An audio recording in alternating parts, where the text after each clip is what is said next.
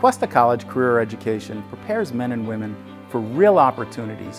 What sets career education apart from more traditional education is that it starts with the student's career goal in mind. We start early.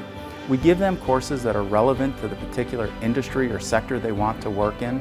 And we also strengthen that with a great foundation of general education transferable courses so that when they leave here, they're ready to be employed in those particular fields.